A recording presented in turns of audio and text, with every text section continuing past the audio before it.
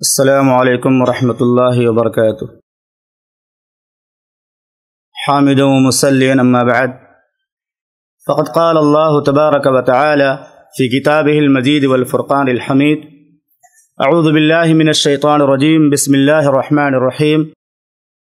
يا أيها الذين آمنوا لا تتبعوا خطوات الشيطان إنه لكم عدو مبين.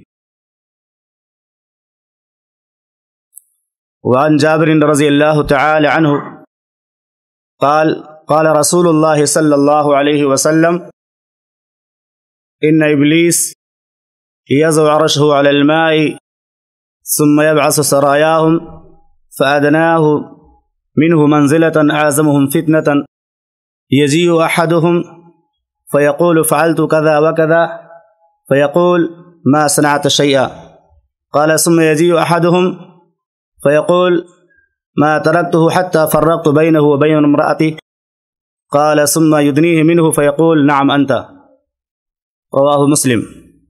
رب اشرح لي صدري ويسر لي أمري واحلل عقدة من لساني يفقه قولي رب زدني علما. معزز و محترم سامعین کرام دینی اور اسلامی بھائیوں آج کے درس کے لیے میں نے قرآن مجید کی ایک آیت کریمہ کی تلاوت کی ہے اور محمد رسول اللہ صلی اللہ علیہ وسلم کی حدیث پڑھی ہے۔ جسے امام مسلم رحمہ اللہ نے صحیح مسلم میں پانچ ہزار سینتیس نمبر پہ نقل کیا ہے۔ اس آیت اور حدیث کے ترجمے پر غور کرنے سے موضوع بنتا ہے، ابلیس کا ایک عظیم مشن طلاق ہے۔ ابلیس کا ایک عظیم مشن طلاق ہے۔ کیونکہ اسلام کی جو تعلیمات ہیں، شیطان ہمیشہ اس کی مخالفت کا حکم دیتا ہے۔ اللہ رب العالمین اگر کسی نیکی کا حکم دے گا تو شیطان اس سے منع کرے گا۔ اللہ رب العالمین کسی گناہ سے روکے گا تو شیطان اس کے کرنے کا حکم دے گا۔ اس لیے اللہ رب العالمین نے فرمایا، یا ایوہ الذین آمنوا، لا تتبعوا خطوات الشیطان۔ اے ایمان والو، شیطان کے نقش قدم کی پیروی نہ کرو۔ انہو لکم عدو مبین۔ وہ تمہارا کھلا ہوا دشمن ہے۔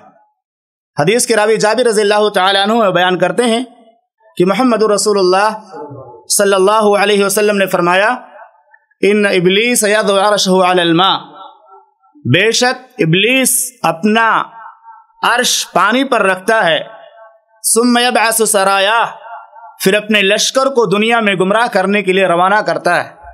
فَأَدْنَاهُمْ مِنْهُ مَنْزِلَةً أَعْزَمُهُمْ فِتْنَةً۔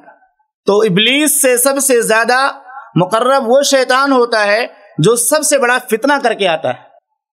اللہ کے نبی صلی اللہ علیہ وسلم نے فرمایا، پھر وہ شیاطین جب لوگوں کو گمراہ کر کے حاضری دیتے ہیں، ان میں سے ایک شیطان آتا کہتا ہے فالتو کدا و کدا ابلیس کے سامنے کہتا ہے، میں نے یہ یہ گناہ کرایا۔ میں نے یہ یہ نافرمانی کرائی۔ تو کہتا ہے، ما صنعت شیا ابلیس کہتا ہے، تم نے کچھ بھی نہیں کیا۔ شیطان کہتا ہے، میں نے یہ گناہ فلاں سے کرایا تو شیطان ابلیس کہتا ہے، کچھ نہیں ہے، تم نے کچھ بھی نہیں کیا، ما صنعت شیا تم نے کچھ بھی نہیں کیا۔ قال، ثم يجي احدهم پھر ایک شیطان آتا ہے اور کہتا ہے، میں نے فلاں بندے کو اس وقت تک نہیں چھوڑا، جب تک کہ اس کے اور اس کی بیوی کے درمیان جدائی نہیں کرا دی۔ ما فرقتہ ما ترکتہ حتی فرقت بینہ و بین امراتی۔ میں نے فلاں شخص کو اس وقت تک نہیں چھوڑا، جب تک اس کے درمیان اور اس کی بیوی کے درمیان جدائی نہیں کرا دی۔ بیان کرتے ہیں راوی کہ اس کے بعد اللہ کے نبی صلی اللہ علیہ وسلم نے فرمایا کہ شیطان اس کو اپنے سے قریب کر لیتا ہے اور بعض روایتوں میں آتا ہے اس کو چمٹا لیتا ہے اور کہتا ہے نام انتا ہاں تو نے اچھا کام کیا۔ اس حدیث سے بات ثابت ہوتی ہے کہ شیطان چونکہ یہ چاہتا ہے کہ دنیا میں بے حیائی عام ہو، برائی اور زناکاری کا سلسلہ چلے، لوگ گناہوں گناہوں کی زندگی گزارے، اس لیے شیطان میاں بیوی میں جدائی کرانا چاہتا ہے۔ اور شیطان کی آرزو ہے دنیا میں بے حیائی بے حیائی پھیلے۔ اس لیے شیطان اجنبی مردوں اور عورتوں کو ملانا چاہتا ہے۔ جو ملے ہوئے ہیں، شریعت کی اعتبار سے ان کو الگ کرنا چاہتا ہے۔ اور جو الگ ہیں، جن کا الگ رہنا ہی ضروری ہے، ان کو ملانا چاہتا ہے۔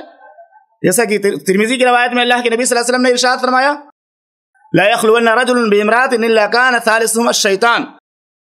کوئی اجنبی مرد اور عورت تنہائی میں ہوتے ہیں، تو ان میں تیسرا جو شیطان ہوتا ہے۔